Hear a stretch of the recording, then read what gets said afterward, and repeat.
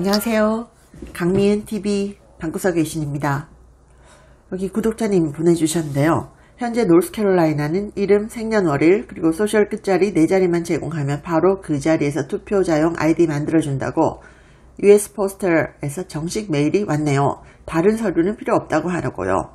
아니 면허증 발급받는데도 은행 statement부터 신분 증명할 수 있는 모든 서류 full social 이런 거 다 까다로운데 투표용 아이디는 그 자리에서 사진 찍어서 바로 만들어준다니 social 네 자리만 갖고도 시민권자인지 조회가 되나요? 이거 조사 및 취재 필요합니다.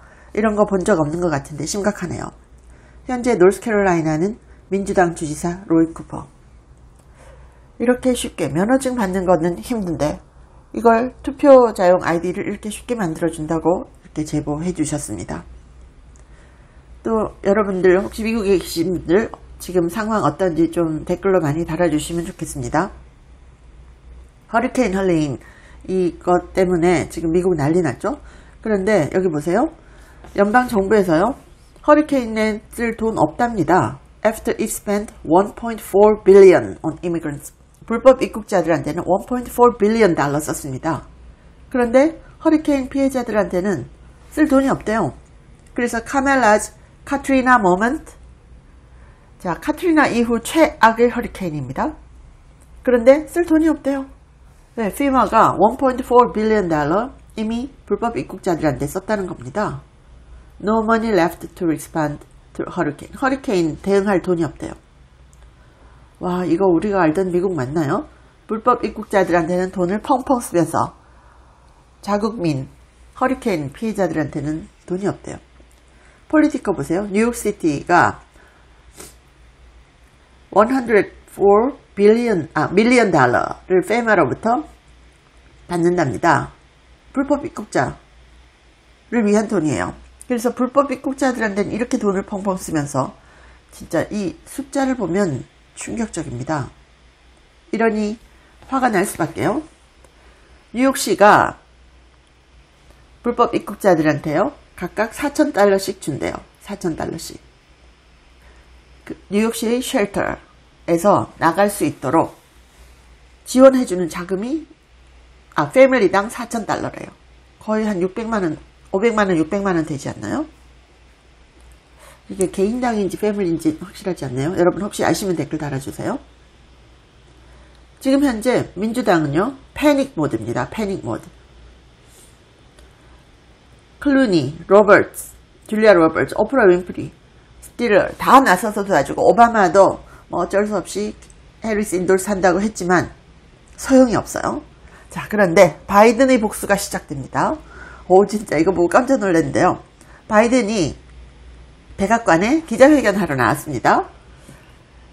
민주당의 쿠데타 이후로는 43일 동안 전혀 모습을 보이지 않았었다고 합니다. 그런데 mainstream 미디어가요. 카멜라 해리스를 위해서 바이든과의 연결성을 끌어주려고 그렇게 노력하는데 바이든 해리스 행정부의 부통령인 해리스가 어떻게 바이든의 바이든과 cord를 끊겠습니까? 그런데요. 오 바이든이 나타나가지고 카멜라에게 해가 되는 얘기를 합니다. 그래서 여기 바이든 comes back to haunt 카멜라. 카멜라가 그렇게 바이든과의 연결성을 끊으려고 노력하는데 나와가지고 기자들 앞에서 뭐라고 했는지 아세요? 자, 부통령으로서 카멜라에게 내가 모든 걸 할 수 있는 권한 줬고 카멜라는 우리 부통령으로 이 행정부에서 정말 중요한 일들을 나와 같이 다 했다. 복수가요? 물귀신 작전. 뭐 어차피 부통령이니까 당연히 한 팀인데 그거 카멜라가 자꾸 끊으려고 하는데 바이든은 자꾸 다시 끌어들이는 겁니다. 카멜라's fingerprints are everywhere. 카멜라의 지분이 지문이 모든 곳에 있다. 라고 얘기를 합니다. 그래서 바이든은 자신의 실패한 정책에다가 지금 카멜라를 끌어들이고 있습니다. 다시 기자회견에서 이거 분명히 얘기를 하더라고요. 헌팅 카멜라. 나 그냥 사라질 줄 알았지. 잡아먹는다. 이러면서 카멜라에게 직격탄이 될 수 있는 발언들을 합니다. 아 그리고요. 기자가 질문을 했어요. 이번 대선이 fair 할 거냐 그리고 peacefully peaceful 평화로울 거라고 생각하느냐 이렇게 물었거든요. 그랬더니 바이든이 먼저 뭐라고 대답한지 아세요? 어, 페어 할 거다.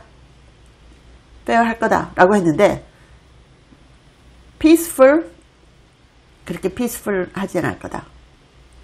평화롭지 않을 거다. 그래서 자막 이렇게 달았어요. Biden hints at a violent election. 폭력적인 선거가 될 것이라는 거 암시. 이렇게 달았어요. 와, 이거 너무 놀랍지 않나요? 선거 이제 말로는 페어 할 거다라고 하지만 그렇게 평화롭게 지나가진 않을 거야. 물론 이건 이제 트럼프에 대해서 얘기할 수도 있겠지만 어, 선거에 뭔가 있다는 거 힌트 준 겁니다. 그래서 여기 기자가 물어봐요.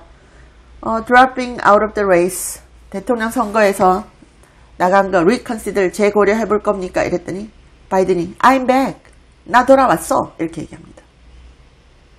해리스에게 복수한다는 건가요? 민주당 쿠데타에 복수한다는 건가요? 그래서 헌팅 카멀라라고 팍스에서 쓰면서 vengeful Biden is still mad about the coup. 자 이제 민주당 쿠데타에 화난 분노한 바이든이 복수를 하는 건가? 그리고 바이든은요 오바마를 비난하고 싶어 합니다. 왜?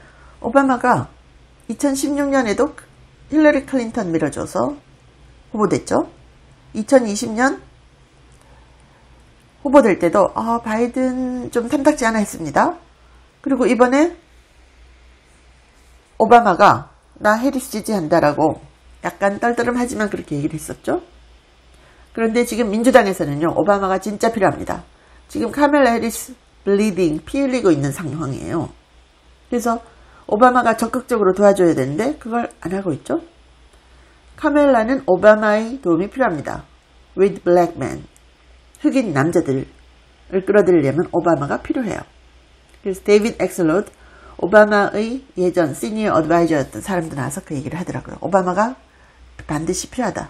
카멜라 해리스 지금 피 흘리고 있는데 필요하다. Kamala crash. 카멜라 지금 인터뷰할 때마다 폭망. 기자회견도 안 하지만 원고 없이 얘기할 때마다 폭망이에요. 오프라 윈프리가 그렇게 도와주려고 했는데 안 됐습니다. 자, 오바마가 지금 상원의원 선거에 광고 출연을 했습니다. 상원의원 제가 이름도 잊어버렸어요. 후보인데 처음 들어본 사람이었는데 이런 사람을 위해서도 광고에 출연해 줍니다. 그런데 해리스를 위해서는 뛰지 않고 있어요. 그래서 오바마가 적극 필요하다.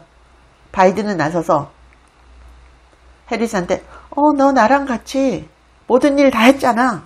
이렇게 말하고 있는 상황이고요. 여기 NBC 뉴스 보세요. 민주당은 걱정하고 있다. 왜? 카멜라 해리스가요.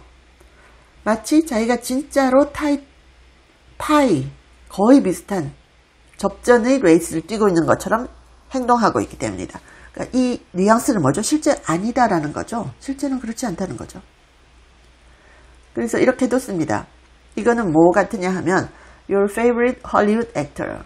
헐리우드 배우가 네가 좋아하는 헐리우드 배우가 톡쇼에 나간, 나왔는데 They cannot even speak. 그들이 말조차 제대로 하지 못한다. 이게 지금 민주당 상황이라는 거예요. 민주당에서 그렇게 그렇게 띄워줘도 거의 헐리우드 액터가 나와서 토크쇼에서 거의 말도 못하는 것처럼 그 사람들이 어머 이게 뭐지? 라고 실망하는 것 같은 상황이 벌어지고 있고 그래서 민주당은 지금 패닉 모드라는 겁니다. 카멜라가 얘기할 때마다 입을 열 때마다 원고가 없이는 텔레프롬프터가 없이는 너무 이상한 소리 하고 일부러 얘기를 안 하는 건지 정책에 대해서 직접적인 대답을 안 합니다. 아무리 직접적으로 물어도 대답을 안 해요. 와 그리고 이거 놀랍습니다. 바이든한테 어, 지금 허리케인 거기에 대해서 어떤 생각 갖고 있습니까? 이제 도움을 안 주기 때문에 물어본 거 아니겠어요?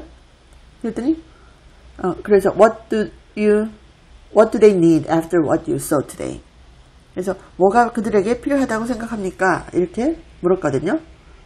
스톰 존에 뭐가 필요하다고 생각합니까? 이렇게 물었더니 어, in the storm zone 이러면서 대답을 뭐라고 하는지 아세요?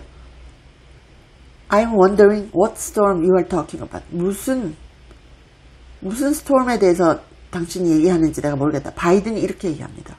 너무 놀랐어요. 무슨 스톰? 와, 진짜 놀라운 일이 계속 벌어지고 있습니다. 미국을 누가 움직이고 있는 걸까요? 시청해주셔서 감사합니다.